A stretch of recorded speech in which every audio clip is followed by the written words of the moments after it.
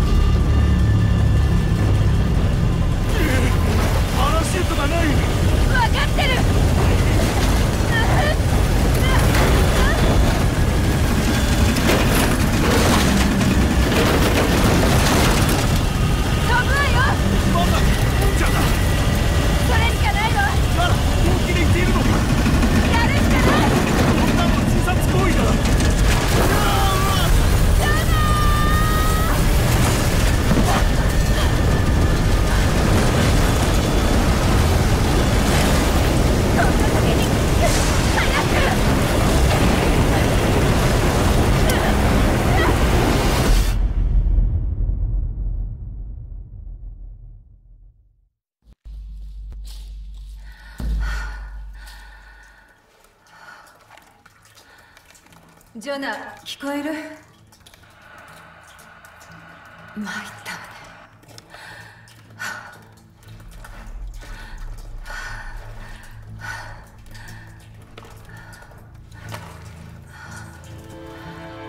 おー、相変わらずララクロフト様、美しいこの肌の質感。えーとね、今回はこれ PC 版なんですけどね、え私の PC 結構高スペックなんで、最高画質でプレイしていきます。ちょっと動けないけど。あ足が岩に挟まったの。助けるよダメよ。トリニティが目の前にいるのに注意を引きたくない。今行く。ちょっと待ってて。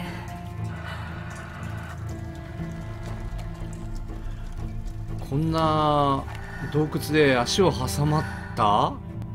うわあの映画思い出すね。127時間。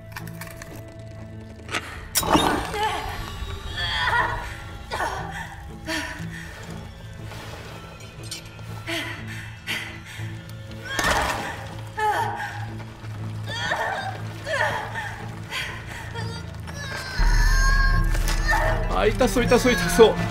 うわ大丈夫か？あーよかった。映画のようにはなりませんでした。よかったね。いやこういうねこのド M 的な演出がたまらないですね。トゥームレイダーはね。このいつだって満身創痍なララクロフトちゃんララちゃんのね表情がまたなんともねこう色っぽいんですよね。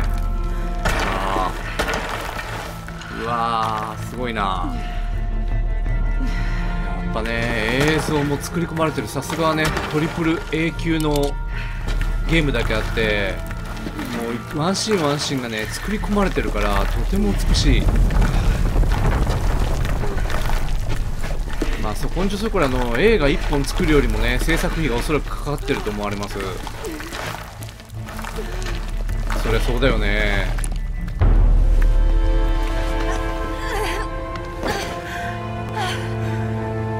一昔のゲームと違って肌の質感とか昔のねゲームはいかにもこう無機質だったんですけどもう最近の AAA 級のゲームのグラフィックはもう有機質ですよ。まあそろそろねこう不気味の谷を抜けてきたんじゃないかな。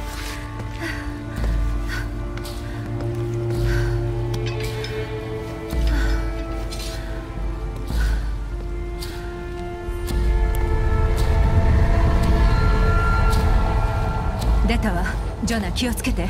発掘現場の中は罠だらけよ。トリニティの仕業か。何かを守ってる。6週間経つのにここのトリニティのトップは手がかりをつかませない。でも町の人がメキシコの死者の日に VIP が来るって言って盛り上がってきた。名前はドミンゲス。調べてみよう。さあこのねロッククライミングはもうトゥームレイダーではおなじみですよね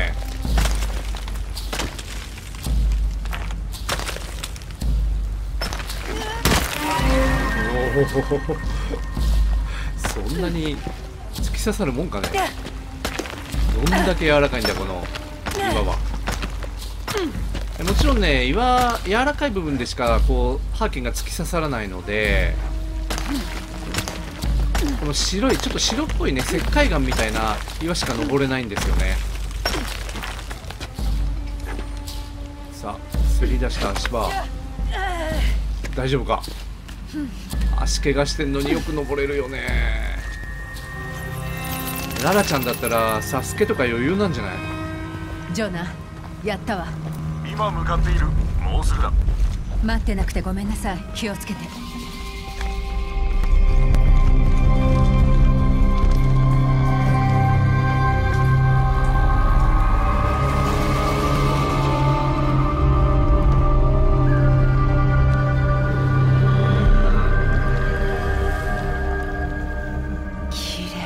やララちゃんの方が綺麗ですけどね。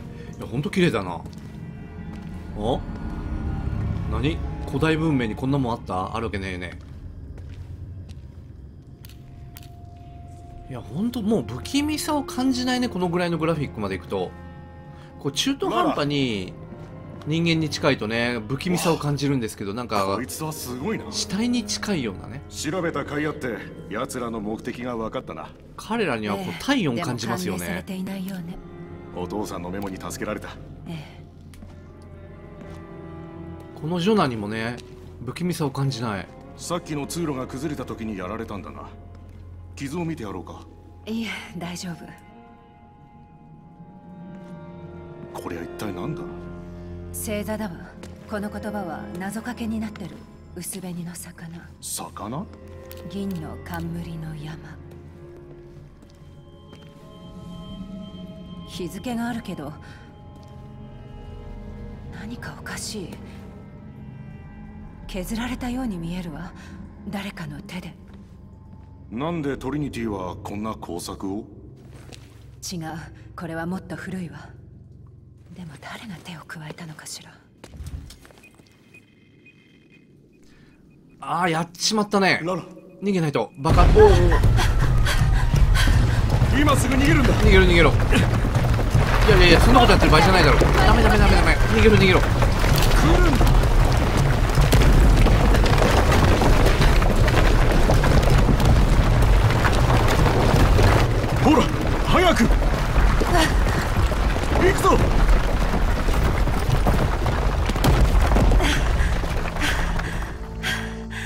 あなたがいなかったらまだ写真撮ってたかも。それはどうかな？ジョナ。なあ出直してカフェで落ち合おうドミンゲスが来るはずだ。いいわね。私は謎かけを解く。日付が関係あるかも。そうだな。魚と冠の山。俺も調べる。あとそのカフェはきっと飯がうまい、シェフは知ってる。うん。お腹空いてないマジか。俺は腹ペコだ。クジラも丸ごと食える。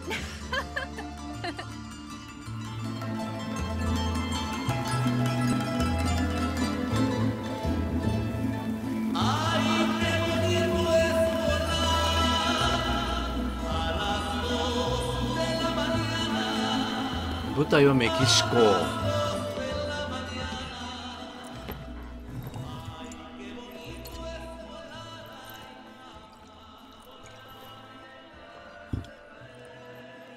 たぞ。ドミンゲス博士の情報は？いや発掘現場を仕切っているようだ。父の日誌にも何度か出てきた。植民地時代以前の遺跡のエキスパートよ。みんなベタ褒めしてる、ん。町の恩人だと。足はどうだ？ジョナ見て。謎かけ生き方よ隠された都を求む者岸辺を南に薄紅の魚に会いああそいつが分かったんだ。アマゾンだけにいるピンクのイルカだよ。まだある。そして双子が語らう銀の冠の山に蛇の心臓を得見て。蛇っていうのは星座の海蛇座のことだわ。この星が心臓ね。沈むのは南西よ。アマゾン川の南西ってことはブラジル？ペルーペルー？遺跡のこの日付。ほらよく見ると手が加えられてる。この数字は一見マヤ数字の13だけど本当は8だったとしたら？しかも再差運動で。え？ああ再差運動つまり地軸の向きが変わることにより地平線上に見える星の位置が少しずつ変わるの。おおう。マヤ歴で言えばだいたい2000年分の再差だわ蛇の心臓はこの頃真西に沈んでいたのよ。だからブラジルじゃなくてペルーなのか。トリニティは間違えた。その通り銀の冠の山っていうのはペルーにあるんだわ。それから何か鍵のことが書いてある。トリニティは隠された都で何する気？博士ありました。何？見せてみろ。今の聞いたか？追いましょう。おい待った。ここはトリニティに見られている。周りに溶け込もう。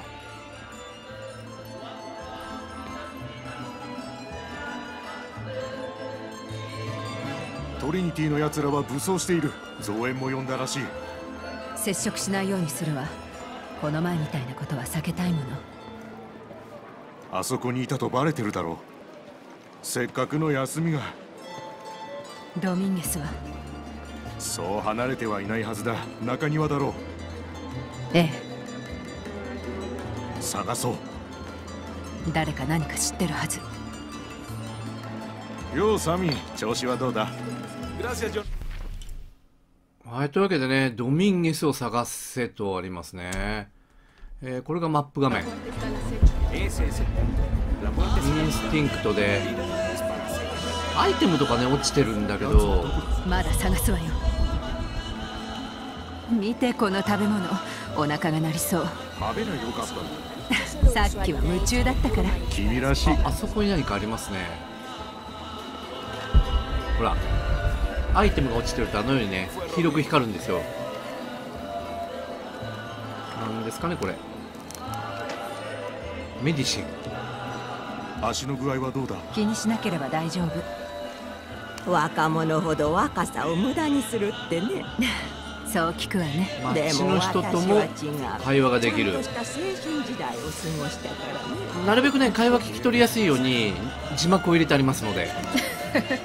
信じられるか？いちゃんと字幕も見やすいようにね色分けできてるんですよ。すごいね。私もそんないたずらっ子だ背景色に紛れないようにでね。きちんと色分けがされている。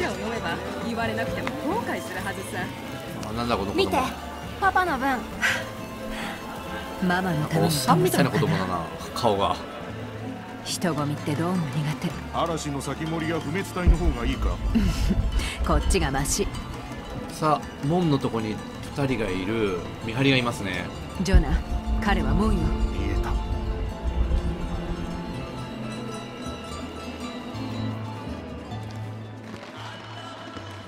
た。よし誰も通すなよ。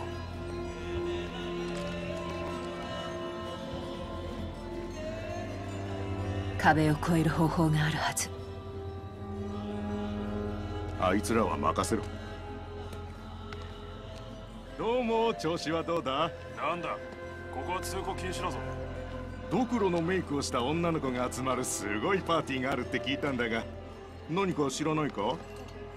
観光客はダメだえー、っといやマリアに招待されたんだ。俺のいとこさ知ってるか？実はばあさんがこの辺の出身でいやもう死んじまったんだけどせっかくだからお供えでもって。いやあんたたちかなり忙しそうだ。これ以上は迷惑だよな。仕事の邪魔だ。みんなの安全を守ってくれてありがとう。それじゃ。さあ引き続きねドミンゲスとやらを追跡いたしましょう。ジョナ入ったわ。よしさっきは門に警備がいなかった。ドミンゲスは何か感づいたな。あー追跡に気づかれた、えー走るボタンを押してもまだここでは走れませんね。ごめんなさい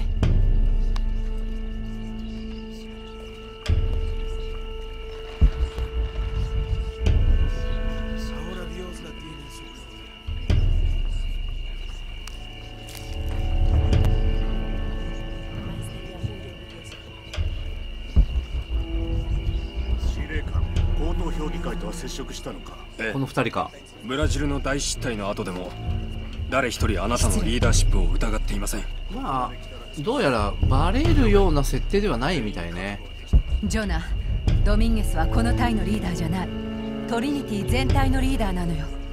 注意していこう。トリニティっていうのは映画でも出てきますけどね。まあ悪の組織ですよ。ええ聞こえてる。イルミナティみたいなもんかな？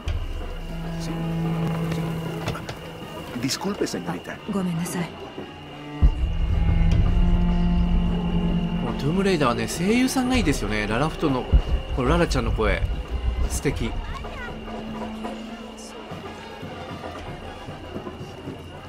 や綺麗だな。あ いやもう見てるだけで楽しいですよね。映画を見てるみたい。本当に。もうゲームというより。第一地点の罠にかかったなんかこ者がいますう眺めてたい。もんな待てどうした？司令官確認を急げ。やべやべやべ憶測はたくさんだ。なんかヒットマンみたいになってきましたね。必ず目視で確認するぞ。目視で確認？ジョナ気づかれたかも。裏通りにいやまだ行ってみる。完全には気づかれていない。道を探す。裏通りってこっちだよね。これが見張りだから。こちらが裏通りですよね。でも相変わらずね走るボタンを押してもまだ走ることができないここは徒歩で移動ってことですね。さあそこにいるみんなの安心のためだよ。これはありがたい。いただくよ。なんか優しいじゃん。アイテムは落ちていない。なんか裏通りもねすごい空気感。この空気の密度を感じません？うああローク司令官だ奥行きを感じる。おドミンおゲスがクロフトを確認しろと言っている。写真があるだろう白人の女こう20煙ってたりもやがかかってたりしていてそれがね空気の密度ってものをすごく表現している。誰も入れるな。だからが画面にね映像にものすごく奥行き感があるんですよね。あとこの光。光の演出。光と影の演出。おい俺のオフィスから出ていけ。はい。はい。出るときはドアを閉めろよ。ええ。てかここオフィスなの。外じゃん。いいんだ遊んでおいで。おなんか優しいじゃん。現場のデータはこれまでと全く違います。次の段階への鍵だ。当たりなら実はいい人なのかもしれないね。敵ではなく後々味方になるとかそういう展開かな？わかんないけど。まだ申し訳ない。皆さん初見プレイなんでちょっと操作とかねおぼつかない。ジョナ奴ら発掘現場に入った。柵もあるし門には警備兵が入る方法を探す。いい場所を見つけた。周囲を見張ってるよ。発掘現場に入る別の方法を探せか。あそこに見張りがいるね。とあんなとこにアイテム発見。いいねこのインスティンクトって機能。やばいな。ちょっと俺仕事しなきゃいけないんだけど またね時間泥棒なゲームが出てしまった。でこのゲームね、えー PC 版8600円ぐらいしたかな？安くはないね。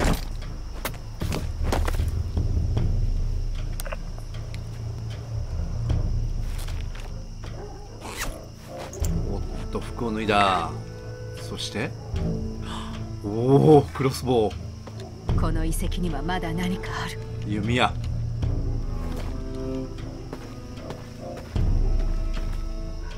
マヤのピラミッドが洞窟の中にある。映画では二丁拳銃でしたけどゲームではねララちゃんの武器は弓矢なんですよ。弓矢はね非常にこうステルス性が高い。誰にも聞かれない余計な手間を取らせるなんか誰かいじめられてるぞこれはステルスプレイをしろということかな？Y ボタン。ステルス。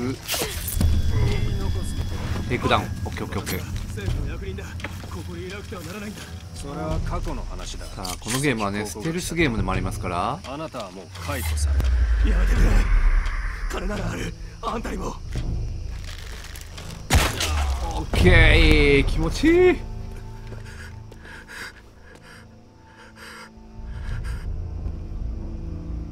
もしないわ。トリニティの仕事何が見つかったの？あいつらが何年も探してた神殿の入り口が今日やっと見つかったんだ。妹に警告しないとこっちに向かってるんだ。妹に警告しないとこっちに向かってるんだってこれ完全に死亡フラグなセリフですよね。ジョナ現地の考古学者がトリニティに命を狙われたの。なんだって？奴らの探し物を見つけないとちらローク司令官全チームオペレーションブラックアウトの準備にかかれ。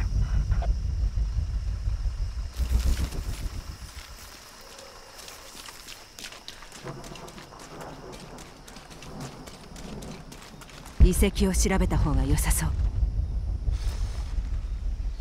さあなんかねいろいろとアイテムが落ちているのでとりあえずねアイテムを回収していきましょうかね。ちなみにトゥームレイダーの映画はアンジアンジェリーナ・ジョリー版と最近だとねアリシア・ビキャンデルがねララ・クロフトを演じてましたけどつい先日ねあのーアリシア・ビキャンデル版のロトゥームレイダーの映画えー動画でレビューしておりますので、まあ、興味があったらそちらも見てやってください。遺跡を調べてみよ左上あたりにねアドレスを貼っておきますそちらクリックしていただければその動画見ることができると思います。忘れなければね貼りますから。貼ると言いながらね忘れちゃうんですよ結構。さあまだまだねアイテムちょっとある。まあアイテムはねなるべく取りこぼさず取っておきたいですよね。なんかねやっぱここゲームのプレイにおいて男女差って出るらしいですね。男はね漏れなくアイテムを拾うけど女性は案外こだわらないっていうなんかそんなデータがあると聞いたことがあります。うこれは知ってる。イシュチェル。満月の女神ね。あ。こっちは新月のジャクチェル。いやーララちゃん本当物知り。古代文字も読めるんですよこの子は。その眼差しの向こうに。美女で知的。ああ何これドクロみたい。ドクロみたいな顔してる。入り口はきっとそこだわ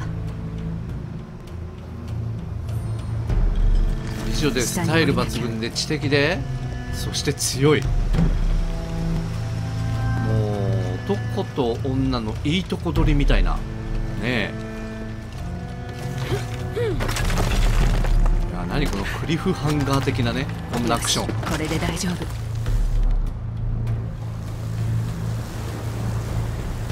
さあこれからちょっとねアクションパートに入るのかな？おお危ねここはジャンプ。これはいつものトゥームレイダー。おおすごいよねこれ。指の力だけで。ンゲス博士が到着したらクリフハンガーだ。全員で向かうぞ。まあこうやってよじ登れる岩をね岩肌を探してそこを目指していくわけですよ。さてこれもねおお危ねえーこれも前方の岩肌よじ登れます。アイテムはないよね。アイテムはない。OK じゃあちょっと助走つけた方がいいのかなこれ。ジャンプ。OK おお危ね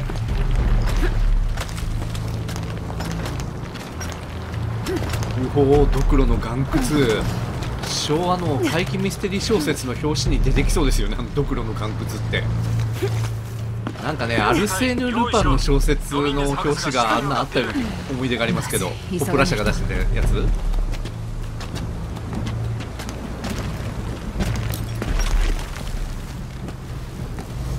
さあこれはねこれはあれじゃない？よ横滑りのやつじゃないの？横横走り壁走りのやつじゃないですかこれ。やってやるわ。前もありましたよねこれ。お危ねえ。おおやってやるわ。本当にやりやがった。象さあこれはどうやっていくのかな？ラこれは下に紐でいけんじゃない？はいなんとなくわかりますよね。ここからどうするべきか。ラペルスイング。さあジャンプ。いけるか？おお危ない危ない危ないおおこれだわ。オッケー洞窟に入るわ。通信が途絶えるかも。了解。外のトリニティを見張っておくよ頼んだ。さあアイテムは取りこぼさずに進みたいところ。あちょっと暗いかな。ちょっとあれかな。画質明るくした方がいいのかな。どうでしょうかね。この洞窟普段は水没してるのね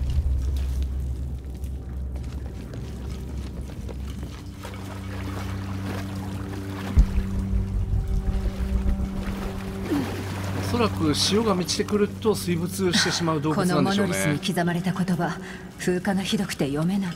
逆を言えばどうやってこの神殿作ったんだろうこの洞窟の神殿っていうの？この建物当時は水没していなかったということ？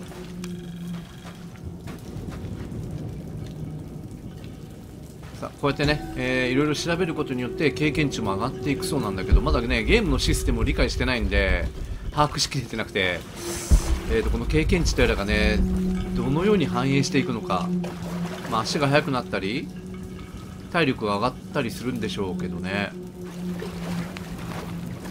これもゲームを進めていくうちに分かるような感じになってるのかな。さてとここを抜けるには他に出入り口はないですよね。アイテムの取りこぼしはないかな？大丈夫だよね。よし。ないよね。綺麗だよな。作り込まれてる。さああれ壊しましょう。これで引っ張ると。これはもうね前作も同じでしたからね。さあ遠くの方になんか青いものがつ吊る下がってる。なんだあれは。あれも多分アイテム。オブジェクトですね。えー5個あるうちの1個だから5個あるんだ全部で。おそらく全部破壊するとそれなりにボーナスポイントが入ってくる。いやもうね演出一つ一つが素晴らしい。いやほんとねトゥームレーダーに関して言わせていただけばいただければ映画よりもゲームの方がもう演出からストーリーから何に至るまで完全上を行ってますね。映画より明らかにゲームの方がそのゲームプレイ云々関係なくね面白いです。特にララちゃんをね襲うこの仕掛け古代の仕掛けとかね非常にダイナミックでまたねよくできてるんですよ。そして映画バージョン映画版に比べるとねもうララちゃん満身創痍度が全然違う。なんかねアンチのやつなんかほんとなんかもう涼しい顔してさ汗一つ流さず余裕で切り抜けていくんだけどこのゲームのララちゃんはもう本当にね傷だらけになりながらね骨折してんじゃねえのかっていう、まあ、むしろなんで骨折しないんだぐらいのねダメージ食らいながらもう常に満身創痍のギリギリなんですよね、まあ、それだけにこのゲームあのー緊迫感切迫感がありますよ。まあ古代のね仕掛けだけじゃなくて大自然の脅威なんかも降りかかってきますからねこのゲーム、まあそれにグラフィックもねもうここまで来ちゃうと何て言うんだろう。例えばアリシア・ビキャンデルとかアンジーをね取り込んでそのまま CG にしてゲームにしちゃったらもうなんか映画の意義というものがねなくなってくるんじゃないかなと。もう本当に10年後？10年後ぐらいになったら映画は全てこう取り込みになるかもしれないですね。まあ本当の役者さんを取り込んでまあ SF とかこういうファンタジーみたいなね映画になっちゃうともう実写というよりは限りなく実写に近い CG もうほとんど見分けがつかないとかね。まあ今もね今現在も結局はそれに近いっちゃ近いんですけどね「スター・ウォーズ」なんかもそうだし。今度あの「スター・ウォーズ」の次の新作はもう亡くなった奇跡に入られたキャリー・フィッシャーが出てくるっていうんだけど。まあまああれは実写使うっつってたか。でもおそらく CG 使えば全然余裕でできますしね。あのゲームの「スター・ウォーズ」も CG なんだけどなななになにもうちょっと技術が上がればねもうほとんど実写とね見まごうレベルですよ。まあだけど CG 感を少し残した方が CG 独特の世界観みたいのが感じられてそれはそれで僕は好きなんですけどね。いいねいいねこういう細かい演出。ただじゃ通さないよ的なね。もうとにかく徹底的にララちゃんをいじめ抜こうみたいな。制作陣のねド S ぶりが伺えますな。もう危ない危ない。うわここんなとこで死んでくない。うわまあ兵所恐怖症の人にはちょっとこれきついでしょうね。きついでしょうなこれ。おえー、いやこんなところでも満身創痍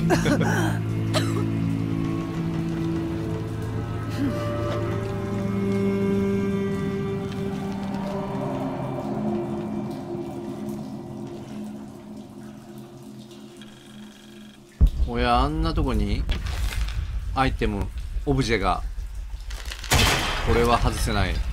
アイテムも落ちている。ドミンゲスが探してる神殿を見つけなきゃ。えここから先は行けないのか。強化ナイフがないといけない。だからまた後日行けるようになるということですね。うわよくできてるよね本当に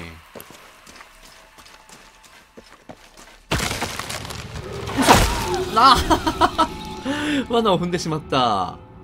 いや見えなかったね今の。すいません。さあここに罠のロープが張ってある。これを切ればいいのね。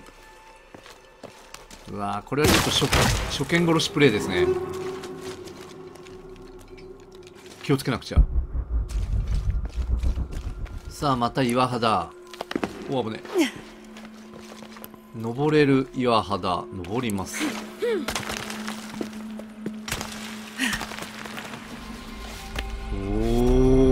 これが神殿じゃないですか？ジョナ築何年だこれ？今は地下の神殿にいる。築500年ぐらい経ってる？敷金礼金3ヶ月ぐらいか？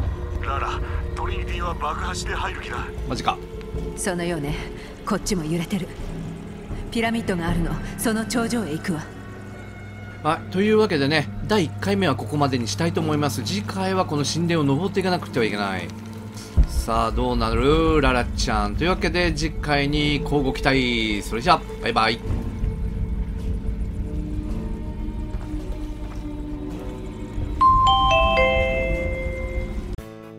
もしこの動画を気に入ってもらえたら高評価をお願いします。チャンネル登録は下のアイコンをクリック。